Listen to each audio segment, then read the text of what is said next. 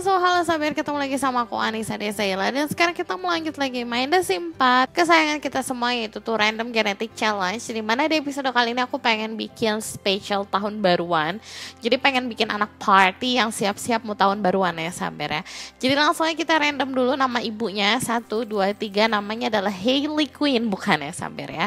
Kemudian nama belakangnya adalah satu, dua, tiga Hailey Ballard. Oke, okay, kalau kayak gitu kita langsung aja randomize trade Satu, dua, and tiga. Tara, dia itu orangnya neat, terus juga unflirty dan perfectionist.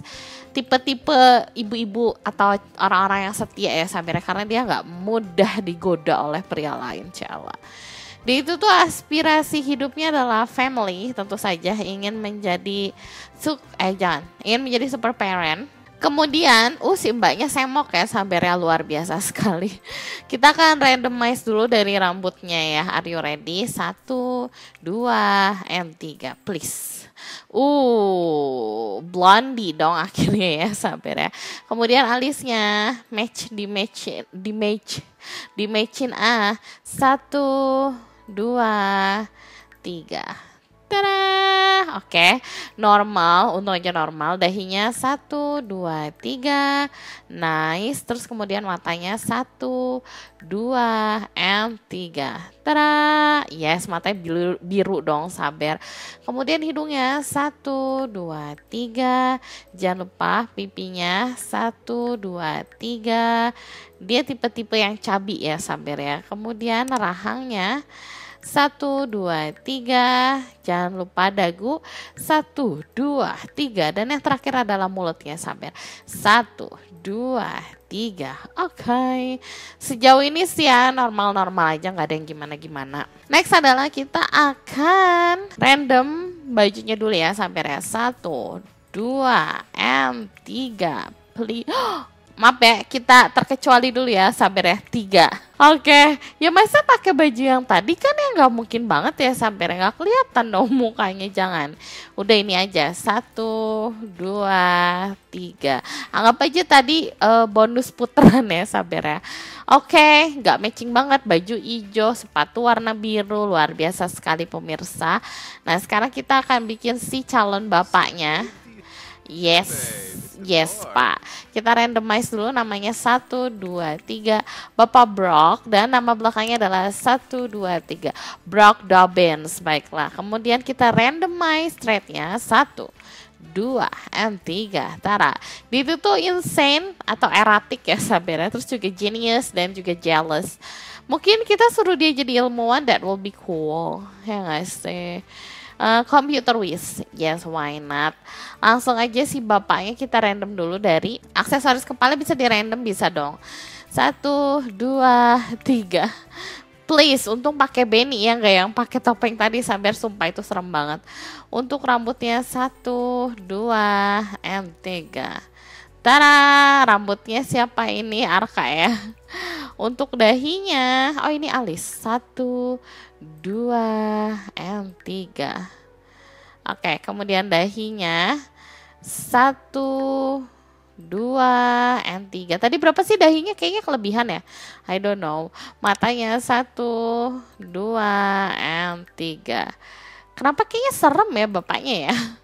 Untuk hidungnya satu, dua, tiga. Nice. Kemudian untuk pipinya satu, dua, tiga.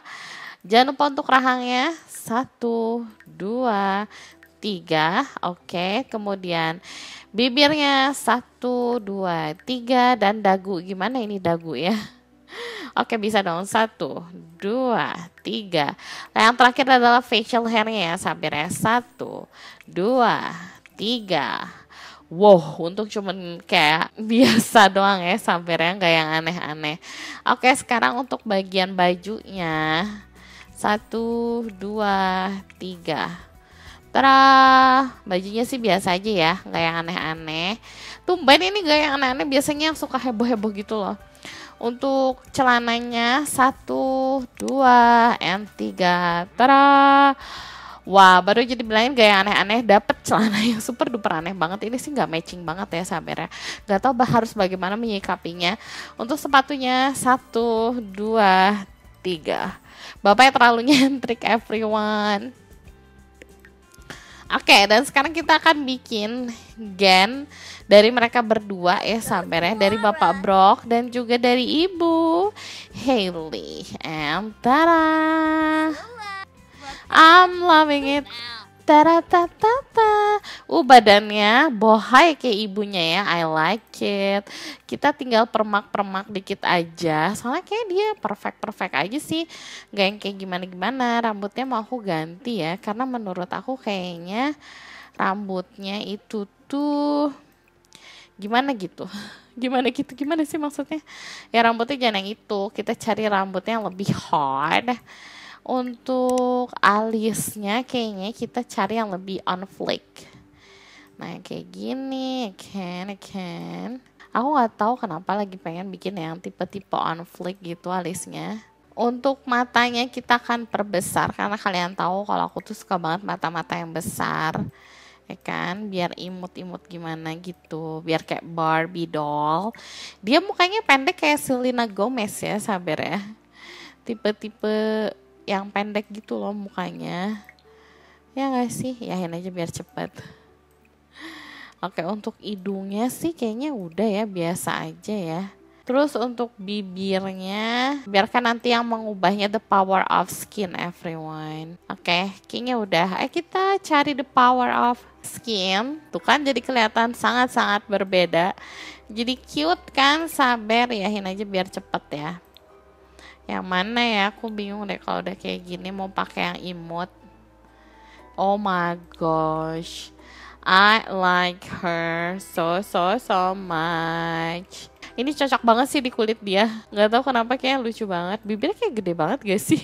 Tapi nggak apa-apa ya itu jadi kayak ciri khas dia gitu punya bibir yang seksi oke okay, I like it Oke, okay, dia sudah ready untuk party.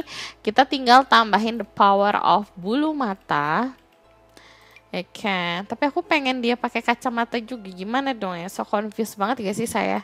Habis itu aku pengen cariin uh, rambutnya kayaknya aku pengen short hair ya karena aku kan terlalu sering pakai yang long hair jadinya short hair short hair ombre gitu kayak lucu banget gak sih damn She's good.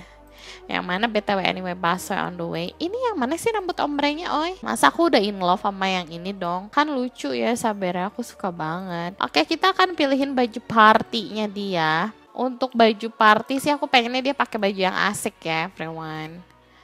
Harus yang asik dong.